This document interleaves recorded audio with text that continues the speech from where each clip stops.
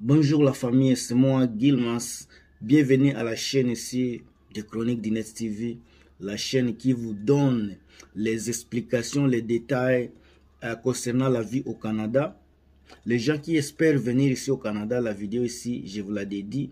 Vous qui avez l'envie de choisir le Canada comme le deuxième pays, la chaîne ici vous appartient. J'ai fait beaucoup de vidéos concernant le Canada.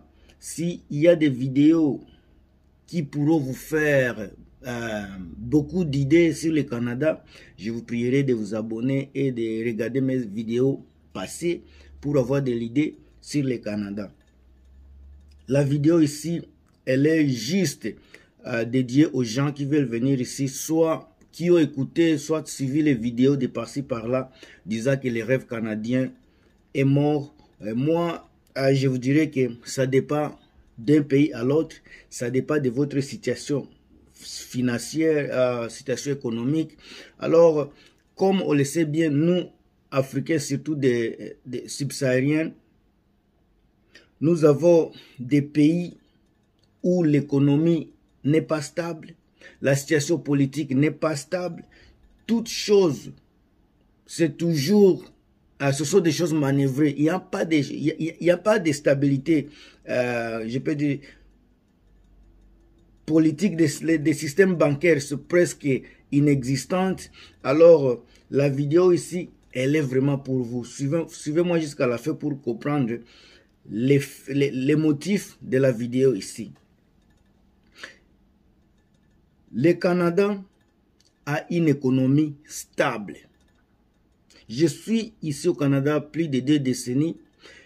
Il y a des gens qui vous font des vidéos après trois mois de vie au Canada, des touristes qui vous font des vidéos pareilles. Mais moi, je vous parle avec l'expérience attaque une personne qui a vécu ici plus de décennies.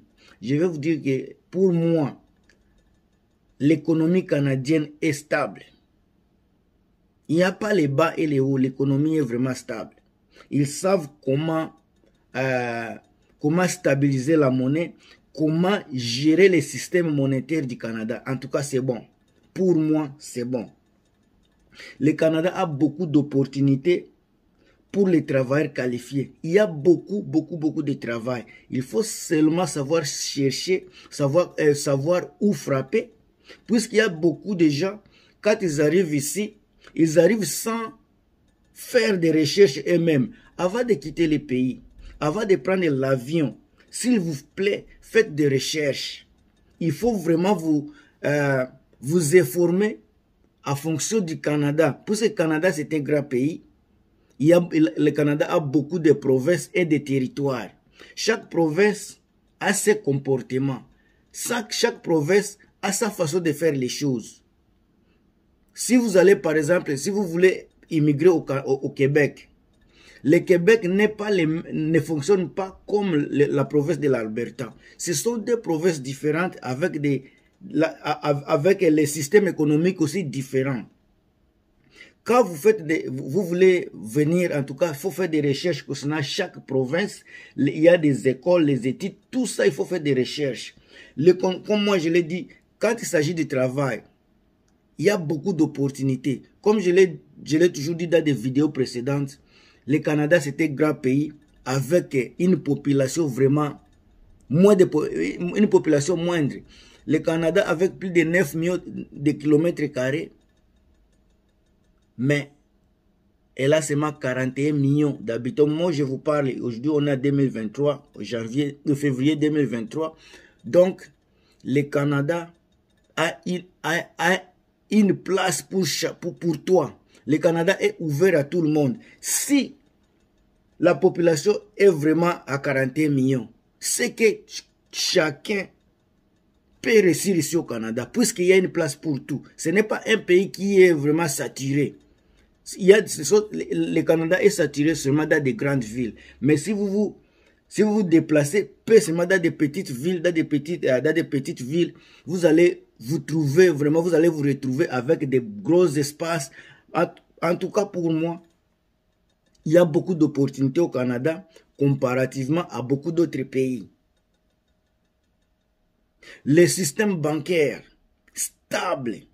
Le Canada est coté sept ans successifs pour la stabilité bancaire. Ça, ce n'est pas n'importe quoi. Regardez-nous d'abord en Afrique. Il y a des fois, il y a des fois, ça sont des réalités que je vais vous dire ici. Il y a des fois, vous allez dans des banques où il n'y a pas d'argent. Vous voulez retirer, faire, le, retrait, il n'y a pas l'argent. Tantôt, il y a les gens qui vont voler. Voler à unis. Ils vont venir voler des coffres des banques. Mais ce sont des choses révolues. au stade où je vous parle maintenant là, ici, on ne peut pas... C'est totalement différent. Vous qui êtes encore en Afrique, je vous prie de ne pas écouter beaucoup de choses, de ne pas suivre beaucoup de choses sur les réseaux sociaux. Focalisez-vous sur votre immigration, focalisez-vous sur votre départ, préparez-vous à, conséquence, faites des recherches. Faites des recherches, suivez surtout des vidéos euh, de motivation, les vidéos où qui, qui, qui, les, vidéos qui ne parlent que de vérité. Surtout les gens qui ont vécu ici pendant plus d'années.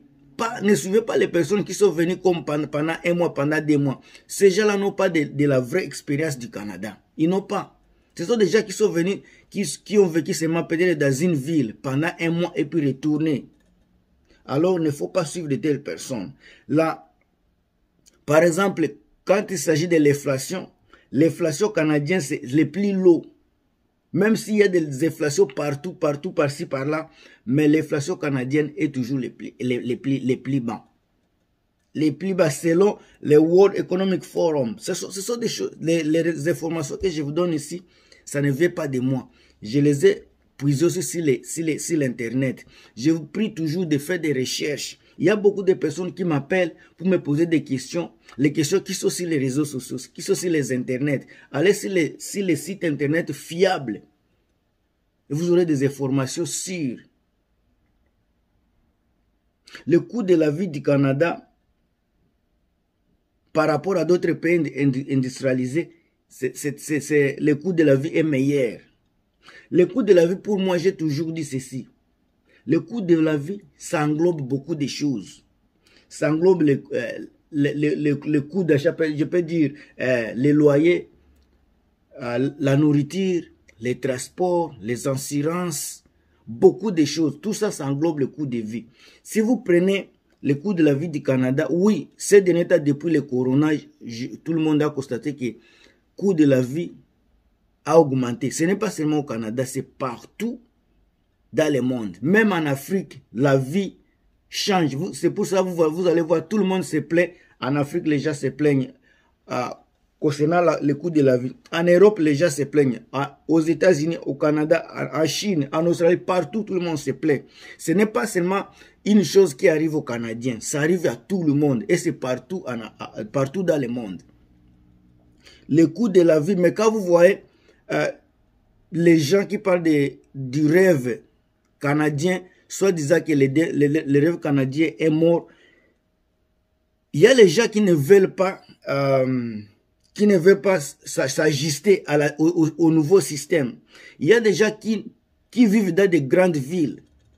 Mais pendant que la grande ville, ils, se retrouvent dans des difficultés, au lieu qu'ils puissent déménager, changer de ville, soit entrer dans des campagnes, soit dans des petites villes, ils commencent à se plaindre. Pendant que celui qui vit dans la campagne, soit dans des petites villes, soit en dehors de, la, de, de, de, grandes, de grandes villes, il a le même salaire avec la personne qui vit au centre-ville. Mais la différence, c'est que celui qui vit dans, des petites villes, son loyer est moins par rapport à celui qui vit au centre-ville. La façon dont la personne qui vit au centre-ville et la façon dont la personne vit dans la campagne, soit dans des petites villes, c'est deux vies différentes. Même en Afrique, même en Europe, ça se fait comme ça. Si tu veux vivre mieux, c'est à toi de décider où te localiser. La vie du Canada est donnée à tout le monde. Même chose. Il n'y a pas celui qui prend beaucoup, celui qui, celui qui prend peu. C'est à toi de choisir comment vivre la vie que, tu, que, que, que le Canada t'a donnée. Tu veux la vivre dans la campagne? Soit aux environs de la grande ville, soit dans, le centre-ville. C'est à toi. Si tu y es venu ici, tu veux vivre sur les salaires minimum ou bien tu veux travailler, tu veux étudier et avoir un salaire décent. C'est au choix. Il y a les gens qui viennent ici, ils ne veulent pas étudier. Ils veulent juste avoir de l'argent et penser qu'ils vont vivre comme les gens qui ont, qui, ont vécu ici pendant plus de décennies.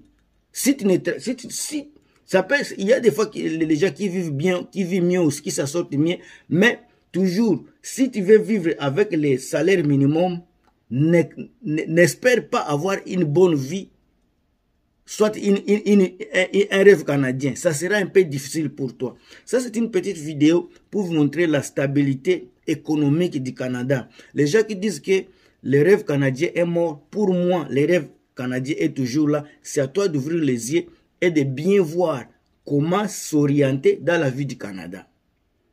Merci. Partagez la vidéo. Si vous l'aimez, commentez et mettez les j'aime. Je suis là pour vous. C'est moi, Gilmas. À la prochaine. Bye.